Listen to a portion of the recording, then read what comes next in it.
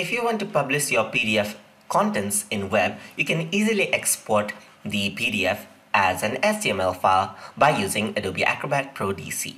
In order to do that, you can see that I got two files right here. Let me export them as HTML. It is as easy as going to File, Export to, and here you have an option to export it as HTML web page. So you can also see that there are other options that you can uh, export to like XML, plain text, but right, right now we're going to focus on HTML. So let me click this and once I do that you can see that I can choose a, uh, choose a location. So I'm going to go into uh, desktop inside my new folder. I'm going to export it here. I can also view the results which I will open up the um, file later on.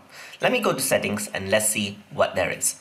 So you can export it as a single HTML page and you can also uh, export it as multiple HTML. So if you have multiple bookmarks and so forth, you can use this option as well. In my case, I only have one piece, so I'm going to export it as a single HTML page. You can also add in headings based on navigation frameworks here, and you can add in bookmarks as well, so it creates hyperlinks according to what it is. Uh, I can also in include images and so forth. I can also uh, recognize the text if it is a scanned document, so let's say I'm going to set it into English as default. So once I'm done with that, I'm going to press OK and I'm going to save this out.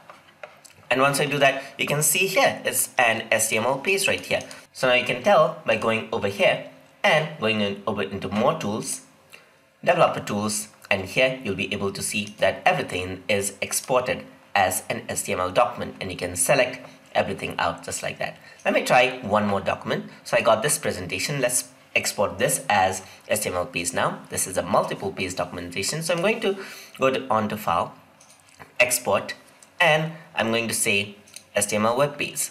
So I'm going to leave the settings as it is. I just want to set it, uh, export it as a single HTML piece. I can press save and then it is exporting the document including the images right there. So it is pre-processing file for export and now you can see that it has been exported as an HTML page right here. So this might not be perfect, but you can see that everything is exported just like that.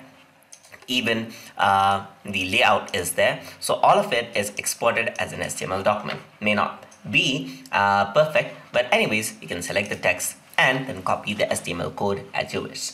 So that is how you can export your documents as HTML from PDF using Adobe Acrobat Pro DC. Hope you guys learned something as always. And as always, please like, comment, share, and subscribe.